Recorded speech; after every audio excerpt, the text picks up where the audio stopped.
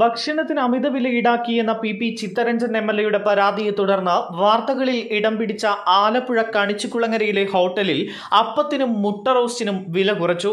Single മുട്ട റോസ്റ്റിന് അൻപത് രൂപയായിരുന്നു. ഇത് പത്ത് രൂപ കുറച്ച് നാൽപ്പത് രൂപയാക്കി. പതിനഞ്ച് രൂപ ഈടാക്കിയിരുന്ന ഒരപ്പത്തിന് പത്ത് രൂപയാക്കിയും കുറച്ചു.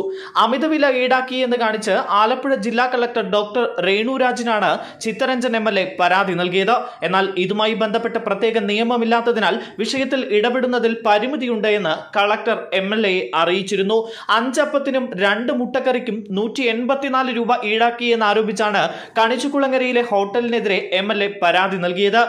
ഫാൻ സ്പീഡ് കൂട്ടിയാൽ പറന്നുപോകുന്ന വലിപ്പത്തിലുള്ള ഒരപ്പത്തിന് പതിനഞ്ച് രൂപയാണ് വില. നാലര രൂപ വില വരുന്ന ഒരു മുട്ടയും അല്പം ഗ്രേവിയും നൽകിയതിന് അൻപത് രൂപ.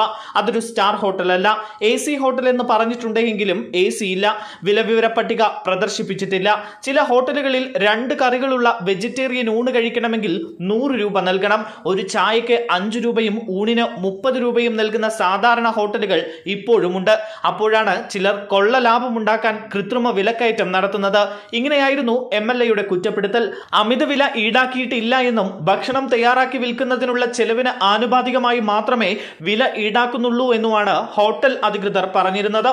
News desk India today.